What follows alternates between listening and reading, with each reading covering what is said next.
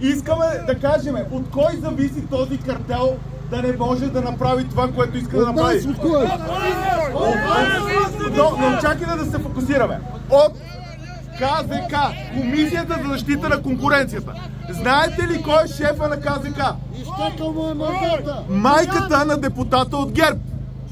Так, така че да знаете, че ние се бориме всеки ден да ги смениме тези регулатори. И, и, и, едновременно, и едновременно с това, което ще ви кажа, ние също от продължаваме промяната, ще сезираме КЗК и ще кажем, че заставаме зад таксиметровите шофьори. И ще кажем, че мо- моментално трябва да се сезират и моментално трябва да отидат при застрахователите и това дигане на вашите цени да не се случи. Колеги, зад вас сме, но знайте, че не е държавата, не е министерствата. КЗК е органа, който в момента трябва веднага да реагира. И, и за това, и за това, и за, и за, и за това ви обясня, обещаваме, че ще ги натиснеме. Веднага!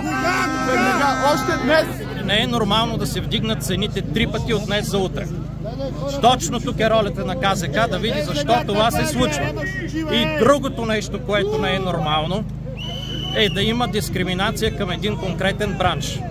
Ако има шофьори, които правят катастрофи, нека за тях да са по-високи цените. Но шофьорите, които нямат катастрофи, техните цени трябва да са нормални.